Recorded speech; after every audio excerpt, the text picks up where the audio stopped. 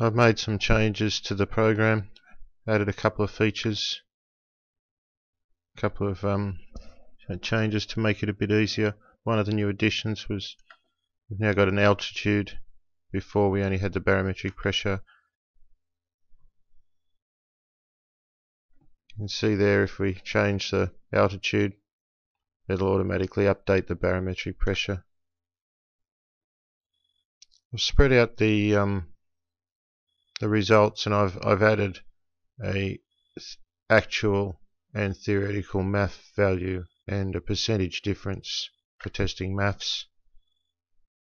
So if we just show you here, we put in info we got there.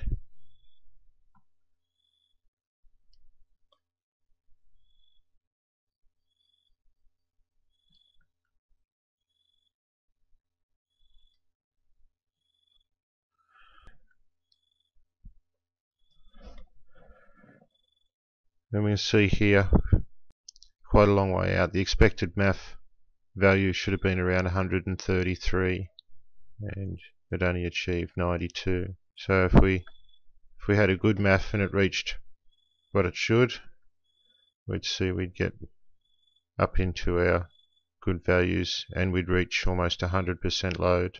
Now I've also added a fudge bar here. Uh, engines never develop 100% volumetric efficiency a good figure is about 82%.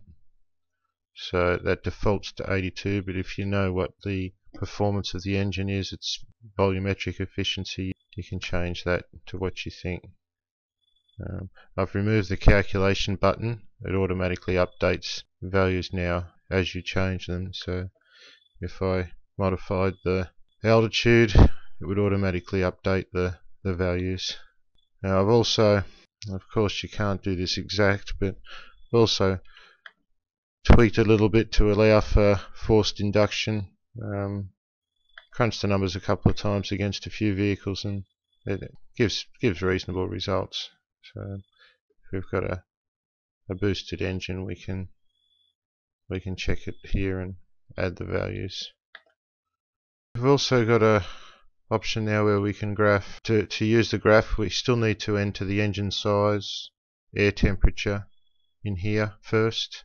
The idea is you can enter numerous entries and then we can hit go and that'll bring up a, a chart showing you expected to actual values. Alright, here's one that I did earlier. I've opened up a, a known good capture here and I've just that currently got the MAF sensor and the engine speed. And I've gone along and taken the values at different locations, different points. And I've entered that data into the table here. And then if we open up the, the graph we can see here it's plotted out how we have our actual which are the values that we've entered in the blue.